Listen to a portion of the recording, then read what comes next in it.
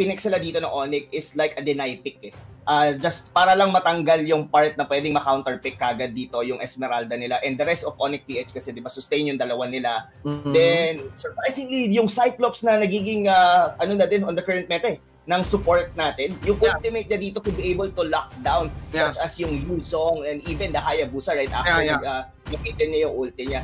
So in doon naman in contrast with Gato Kacha, uh, I think this might be a side lane Gato Kacha and still still gonna be sticking on that show on the the tank support. Ah, okay. Oh, uh, yeah, yes, yes. It's it's very possible actually, no. Uh to withstand the hits at least, you know, on the Khalid. Mm-hmm. That's, yeah. that's one possibility actually. Man, the draft is totally challenging kaagad.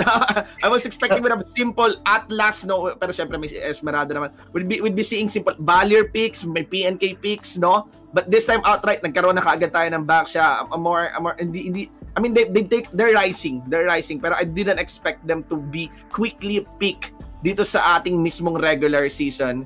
And uh, it is gonna be very exciting between these two teams. You know, we are already into the game, but I think let's take time, no? What what will be your vote be? Ano ano mag saan malalagay ang bottom mo, paring Rob? Uh, with these two compositions? With this composition, if Onyx PH could be able to pull off this uh, first five minutes, I would go for Onyx PH on game number one, Ramsey. Mm, Onyx. For the main reason of rotation itself. Wise would be able to deal so much damage. Mabilis sila makakaikot. Kung may Venus on the Cyclops, ito, uh, hindi, I, I think it's been seeing a lot of uh, pick, ito, kadalasan na siyang napipick din talaga ngayon. At yung damage ng isang Cyclops, sobrang sakit. Ah, I, I, I see. And uh, although there is the Hayabusa, no? although there is the Hayabusa, I cannot but feel that parang okay lang yung Cyclops eh. It's the Cyclops that's really targeting the Hayabusa and not really mm. the other way around, no? Despite Hayabusa being an assassin. So ako din, siguro I'll go with your vote then. Mm-hmm. Na would be uh, buying for Onyx PH kasi distansya lang kailangan mo dito eh sa Cyclops eh, 'di ba? Yep. Pag nabitawan mo yung ult eh, bitaw ult ka lang okay ka na eh. Mm-hmm. Uh, proper timing. Kumbaga ano eh, pagka nauna naunahan ka ng uh, ng ulti kaagad dito ng isang Cyclops, sobrang bilis mo ma-burst down. Regardless. Yeah. Specifically, nandito pa si Wise with its Roger. Sa kung titignan yeah. mo, ang bilis sobra ang bilis nila makakapag-rotate just for the uh, for the mage support ng isang Cyclops. Ang Cyclops, no? Planets attack plus even the innate damage to minions dito ni Roger, no? Mm-hmm. Yeah, ang bilis nung clear nung 3-man uh, comp na to. For the point that Few has been rotating din, no? On scouting mm-hmm. on scouting and getting vision at least against Onyx PH. But overall the the approach ng dalawang teams natin dito has been really safe, no? Safe and pass, mm-hmm. no? Totoo. Totoo. Safe and fast talaga dito. Pero yun na nga, andito na sila sa may top lane. Tingnan mo no, no? Pagkuha nila ng crab doon sa top. Luckily dito, Brain Esport, ang ganda na pick nila for the Farsa. Yeah. Well, they've been dancing around naman for that part. And uh, feeling ko, ang maganda sa laro to, they're keeping their distance from each other, no? Mm-hmm. Maximize ano? the distance from each other. Yes. Uh, I think for the first 5 minutes ito paring shit, ang mangyayari dito is kung sino, baga paunahan mag, mag level 4, paunahan kung sino yung magiging reactor dito sa both of these teams. Kung sino yung mas magre-react, possibly yun yung may iwan sa rotation. Big question now. Ribo, burning is ultimate na lang to make an escape there. But from the looks of it, even yung mga tanks nga hindi sinasanto ng isa't isa. Let's go to the Gillette instant replay on that one. Um, actually, that was the first pick, no? And nakapaglakad naman si Jay dito. Pero, there was good cut din mula kay, uh, para kay Carl Z. I cannot but feel na sana nakapagbitaw yung Cyclops yata doon ng ult. And now we are seeing the Cyclops ult here, ha? Nako, mga kaibigan, Dilar advancing through that one. There's gonna be na naman mula kay Rebo, pero I think that should be it. Oy, de, backup ni Pew dito. Tinamaan mm. Si Dilar. He is down kill range. Lumap din si Oh My Venus dito just to dish out an answer for the damage na binubuga ng mga taga-Brand Esports. Ogi Shadow Kill 3 activated as well. Oh my B! Oh my G! Hindi yun. Actually, ang mamamaalam ay ang B. The back siya. At kuha na pati yung purple buff dito ng Onyx PH. Sabi, ang ganda ng naging rotation doon ng Bren Esport, let alone Flap TC, uh, disrupting everyone from the side of Onyx PH. Kumbaga, si Oh My Venus, hindi, hindi siya maka-move forward, hindi siya mas makatulong. It's all because, hindi, uh, may, sobrang ginugulo sila ni Flap TC with its dragon form. Ah, uh, uh, now napapanish yung inakala nating parang magandang uh, mm-hmm. Cyclops pick dito. But I cannot but feel hindi lang din yung disruption ni Flap Z eh. Pati yung aggression din yata, no, ni Futol, no? Oo, oh, At uh, Farsa, parang napaka-high impact din. If ever, that trend, no, now that we are getting disproven here by Brand Esports, yung, yung strength ng composition nila, do, do, do you still think na ano, parang siguro simula pa lang to and there are still some strong points sa side ng Oni? Uh, yeah, definitely. May strong points sila dito. It, I think pagka napansin nila dito that they could be able to go with few. Kumbaga mapasok siya dito like for example like the Khalid kasi hindi pa natin nakikita into action itong hero talaga ito just ngayon pa lang. Oo. Well, they're, they're going for the Diamond Dilar pero alam natin under turret not to mention it's a Khalid. may innate ano din eh. May, may innate survivability din yung Khalid eh. Oo. And maganda-ganda rin yung defensive stats niya. Kaya nga parang ano eh daan-daan umaakit na to sa tiering ng mga heroes natin, especially for that uh, side lanes. But look at that. I cannot but feel Rob na nararamdaman na ng ano ng Onyx that they cannot easily just go in and face this heavy melee comps ngayon ng ng Bren, no? Mm-hmm. Totoo, totoo yan. Kumbaga, ang, ang the, the squishy hero lang definitely for Bren Esports na possible nilang mapasok was like Fuel. Card PC, yes, squishy siya, pero of course, the mobility is there ang surprisingly, kayang isoak up ng Khalid yung damage, no? Yeah, was heavy. Well, we got two members here. Maybe going for the casualty pero hindi. Yung flank kaagad doon ni Oh My Binis. Ang ganda ng pasok ni Carl doon. The placement of the Shadow to the Ogi Shadow kill gets the kill para kay V.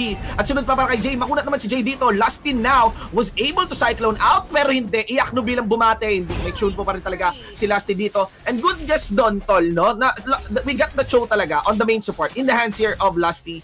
And because of that, because of that very utilizable fighter position, feeling ko hindi nabibigyan talaga din ng freedom si Iyok, Iyakno dito, which is designed to be a heavy counter for these melee heroes, no? Totoo. Totoo yun. Kumbaga, ano eh, na-show out na kagad siya dun sa mismong lane niya sa top lane. Then, nawalan na dito ng uh, magiging rotation. Ito ngayon ang magiging mahirap for the side of Onyx PH okay. kasi medyo umiliit na agad yung mapa nila for the first 5 uh-huh. minutes. It's something na dapat doon nagsasign ng isang Roger. Ano ba yung heavy consequences kapag kunyari ganito yung sitwasyon, maliit na yung mapa? uh, medyo nag uh, parang you were actually getting forced na mag-move out sa isang lane like for example what they're doing right now on the top lane they're really forcing ito na makuha tong turret dito sa taas It looks like, no? They, they, they are totally forcing. Kasi ngayon, mapapansin ko yung Onyx nagsasama-sama na, no?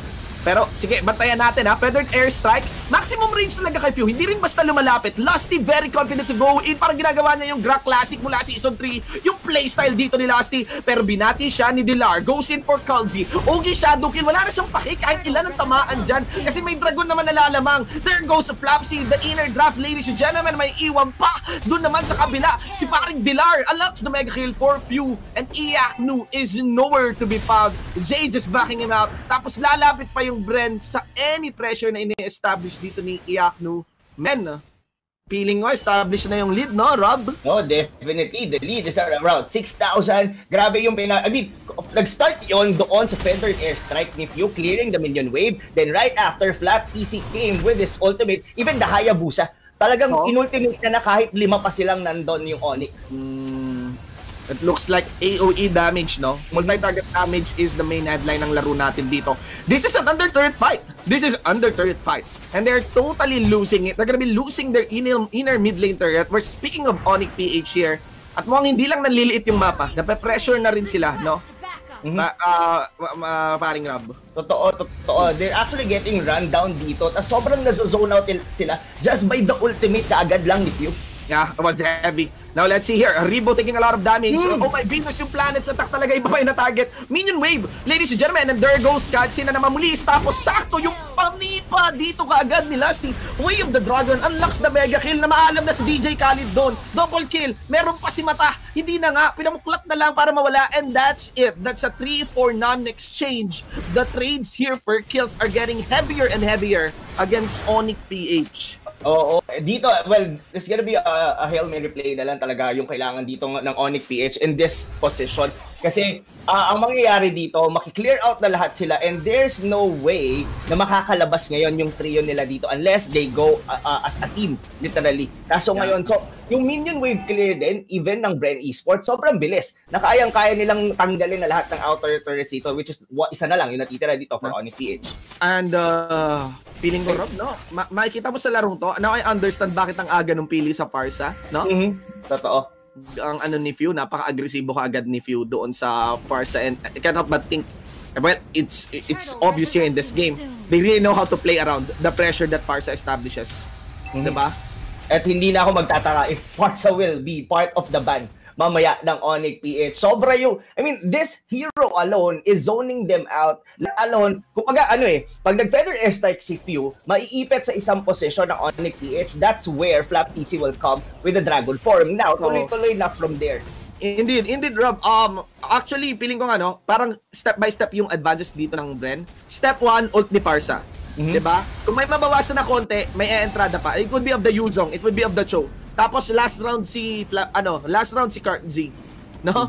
Siya yung yeah. parang step 3 for mm-hmm. for this fight. So uh, this is I think the the way how this uh, composition is played as shown to us by uh, Bren Esports.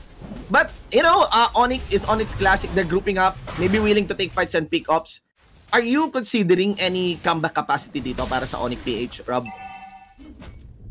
Seeing any power spike coming from them kasi pa, siguro ano, uh, we could be able to see like a play na hindi sila agad, I mean, ma, ma-soak up, like what I've said, kanina hinold ni Dilar yung damage ng ultimate ni Carl TZ with the Hayabusa. Possibly mm. ma-hold ng ni Dilar yung damage na ibibigay doon sa first initial burst na ah. ibibigay ng Ben. Possibly, pag nangyari yun, pwede dito makapag-comeback dito sila Wise. They still have Iyakno as a sustain as, as well. Oh, my Venus can still have a damage. Feeling ko na rin kung individual matchup. Pero tingnan natin ha, the Lord is being made used to the maximum dito ng mga membro ng Bren Esports. Lumipat na ng base. Doon yung Yuzong natin. May mega kill pat. Inuwi niya na lang at binulsat inarbor si Oh My Venus. May minion pa onto the mid lane inhibitor. Tapos destroyed na rin yon Top lane inhibitor turret ang susunod habang nasa may Gedli na lulunod ng mga skills na manggagaling mula kay Few dito against the members of Onyx PH. Wise is there. The top lane inhibitor is not yet destroyed, but doesn't matter. They're gonna be focusing onto the base itself. Minion wave comes in. Iakno went for the dive. Kartsi will have the Ogi Shadow out, no? Hindi Quad Shadow out. Dilar gets traded. Ogi Shadow lang ginawa dito ni Kartsi and they went for the re-engage.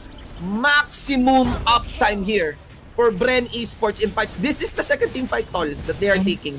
Yes, def. Kumbaga na-sustain nila yon and even just uh, the Yusong lang yung namatay uh, and totally annihilated the rest of Onyx PH and getting at least two tier 3 turrets. Now, for any winning condition dito, kung iisipin mo, no, it's, uh, grabe. Look at that. Fuse win standing everyone from the side of Onyx. I guess Parishing this might be it. Yeah. I mean, those those ano, those three seasons for Bren Esports becoming finalists